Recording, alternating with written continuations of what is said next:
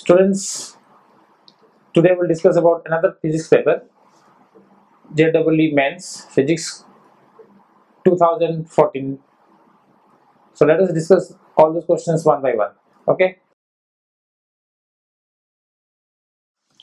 Students, let us uh, move to question number 9. The question says that there is a circular tube in a vertical plane. In a vertical plane like this, there is a circular tube. So this tube contains two liquids which do not mix and of densities d1 and d2. So this is uh, in black color is one mm, liquid and uh, this is another liquid of variable densities d1 and d2 respectively. Each liquid subtends a 90 degree at the center. This one subtending 90 degree so this is 90 degree. This also subtends an angle of 90 degree uh, the radius joining their interface so this is the interface interface is the face which separates the two media uh, the radius joining their interface makes an angle of alpha. So this uh, interface with the center, this, this is the radius, makes an angle alpha with the vertical. Find the ratio of d1 by d2. Basically, this question is to to get the ratio densities, we have to write down the pressure formula. The pressure at the zero level, this level, the pressure from this side and that side must be same. And it is balanced here. So what is the pressure here? That way to find out. So let us see what is the pressure here so our aim is to find the pressure at this level and that, that should be same. Now if I draw the diagram for the sake of simplicity this is a tube. This tube and uh, this is the center and uh, this is the interface. This angle is alpha and uh, I have a diameter like this. So one liquid uh, is up to from here up to here. This is one liquid. This is one liquid up to here. And uh, the remaining is uh, I'll draw in uh, a red one supposed to be. It is from here to this part here to this part. So this part this is another liquid. I've uh, drawn that in red color. So the pressure here should be same because this side and that side the pressure is same. It's balanced over here. And uh, if I complete the tube uh, inside this is air. This is uh, if I complete this then there is air inside so I will call it atmospheric pressure. So pressure at this uh, this point is because of the pressure contribution due to the air at atmospheric pressure plus pressure due to this height of the liquid column this height of the liquid column. Now so this point from this side and that side we will to balance the pressure. Here the density is uh, d1 here the density here this uh, this liquid is density d2 now this angle is total angle is 90 so if this is uh, alpha this is also 90 so 90 minus alpha this will be also alpha. And similarly this is alpha 90 minus alpha this is 90 this will be alpha. Now what is the height? This is the height. Because this length is not important the vertical height. Because we know that the pressure is a exerted at the bottom of the liquid is the vertical height of the liquid present not in the it doesn't depend on the shape of the uh, container. So vertical height of the liquid is uh, this height.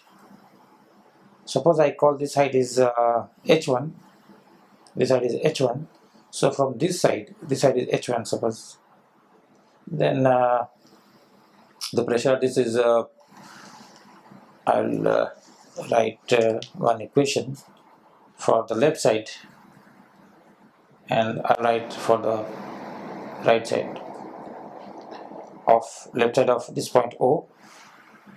Right side I'll to balance these two pressures. Here is uh, atmospheric pressure plus this atmospheric pressure if I count plus the height of this liquid column. And because of that the pressure is uh, rho gh rho is the density over here is d1 g and h is I have considered h1 that must balance the pressure on the right hand side of the equation. The right hand side of the equation is uh, obviously this again uh, there is atmospheric pressure because this is a vertical line. This is atmospheric pressure over here so I will use this color P naught plus uh, the pressure due to the this height of the liquid this height this height plus the pressure due to this height this height because uh, this will also impart certain height. So this height uh, this height plus pressure to this height so this height is uh, nothing but uh, pressure due to this this height. So if I call this height as uh, h2 this height as h3 and this height as h4 then I have to write all those heights. So instead of uh, going for writing h1 h2 h3 I'll just uh, directly calculate things and you uh, notice that. So p naught okay let me write that this height is h1 so it will be and that because of this uh, density only.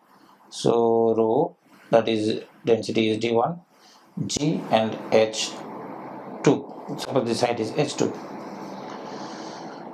okay. Then uh, this part of the liquid this part of the is uh, suppose this height is directly I will call it some h3 value. This height is some h3 value. Then uh, that height I have to consider which exerts the pressure over here. That pressure has to be added. Okay so this height is suppose from here to here this vertical height is uh, h3 so it is uh, d2 g h3 now uh, how to find now our aim is to find it basically h1 h2 and h3 h1 is uh, this height this height is h1 from here to here. Uh, this height is h1 right? Because this is a liquid this is the height. Now this height is this total height minus this height minus this height. Okay? This distance minus this distance is this distance that is h1 that means r this is r radius r minus this this is r this is r cos alpha this is r sin alpha. That means r minus r sin alpha. So i'll write this as okay let me first write down h1 is to h1 comes out to be r minus r sin alpha. Okay now move to h2 i'll write for h2 then i have to again draw the picture otherwise you will not understand let me just draw it roughly. Uh, the black liquid for this side it is up to certain height. Up to certain height. After that we have got red one. Up to certain height say so like this. Like this. So this height this height. This height this height. This height is uh, h2 and from here to here this height is h3 how to calculate that uh, h2 I will write here h2 comes out to be h2 the height for uh, dot d. So it is uh, r minus r cos alpha. This will be the height h2 why it is so. Because uh, from r you can see here I have not given the angle. This angle is alpha was given. This is r. So this is r cos alpha. From here to here it is r cos alpha. So this length is r cos alpha. R cos alpha. Now the whole length from here to here is r.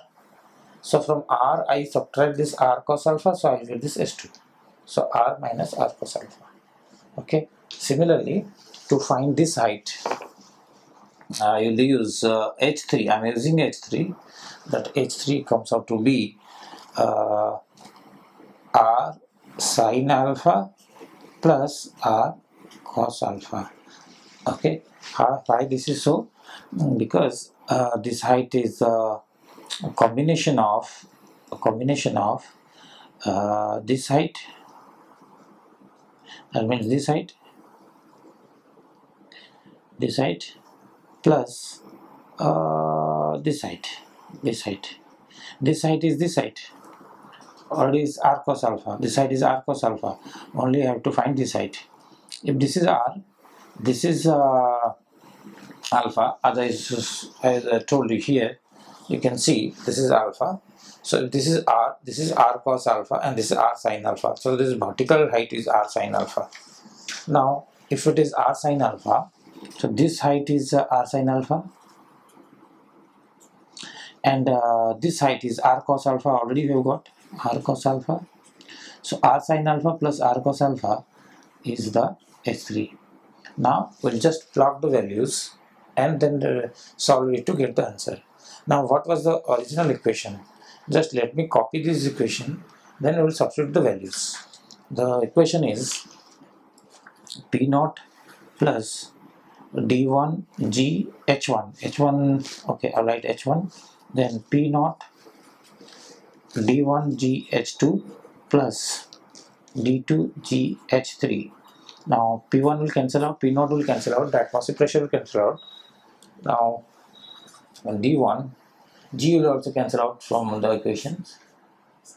Now d1 h1 d1 h1 is d1 h2 plus d2 h3 now how to get this uh, d1 uh, h1 h1 I already calculated and it was found to be as I told you here r minus r sine alpha. So I'll just put r minus r sine alpha similarly this d1 into h2 h2 is r minus r cos alpha. So I'll substitute here r minus r cos alpha plus d2 into h3 is this.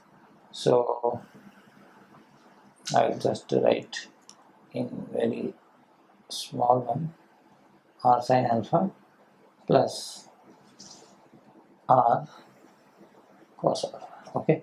Now that implies I have to take this r from here r from here r from here and cancel out.